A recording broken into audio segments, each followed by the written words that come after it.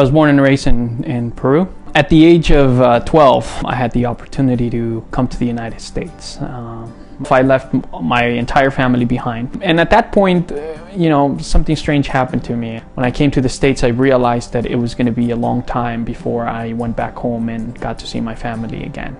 Um, so there was that emptiness in me, there was that hole that I needed to fill with something. One day, um, I think it was near my dad's birthday, um, and by then I had already realized that I wasn't going to go back home for a while. And um, you know, after mass, this family brought a bunch of people over to um, to the house, and they were having a they were celebrating a birthday. So I went to my room and I started crying because you know I knew that I wasn't going to celebrate a birthday in a long time with my dad or anybody in my family. So I started crying, and um, this lady came in. She grabbed me by the hand and asked me, you know, what was going on, and I, you know, I just kind of didn't want to share because she was a stranger at that point. Um, but she kept insisting, so she grabbed me by the hand and sat me down, and you know, uh, she started asking me questions and uh, started sharing about you know, missing my family, missing my, my mom and everybody. And she did something that I'd never forget.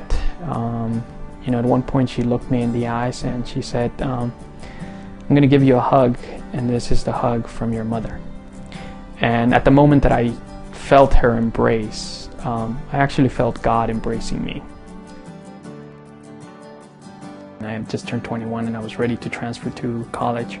Um, I got detained by the Border Patrol and I get taken down to San Diego, um, you know, to be deported. And uh, of course, my attorney worked things out eventually, but um, it seemed like a very cruel joke to me. And um, I remember uh, I was taken into this cell by my, you know, I was put there by myself. Uh, this was around two o'clock in the afternoon, and um, I was by myself, and there was this little window uh, that you could look out to, you know, from. And so I approached the window and I looked at it, and somebody carved "Jesus saves," and I thought that was very funny, you know, because I wasn't feeling like Jesus was saving me at that moment. Um, but something about those words um, hit me, and uh, tears started to come out, and I started. I cried for five hours nonstop, and uh, and I just put it I put it all out. I, you know, I put it in God's hand. I was in a cell with another man. You know, he started opening up about his life. Uh, what happened is his family had turned him in. He had a two-year-old daughter, and all he wanted was to be with his daughter. That, first evening, I asked him if we could pray together, and uh, he said sure. And you know, so I came down from my bunk bed, to hold hands. You know, here we are praying. I say the prayer, and then I climb back up. And a couple minutes later, he, you know, he calls me. He says, "Hey, uh, Chavo," is, is in Spanish, you know, kid. He says, um, "I can't stop smiling," and I say, "Why?" He says, "Because we just prayed." Next day, you know, we decide to do the same thing. You know, we open up more and we decide to pray together. Um, and just when I, I thought I was done, you know, I'm closing the prayer, amen. You know, ready to climb my, climb up to my bunk bed again. He holds my hands tight and he starts praying.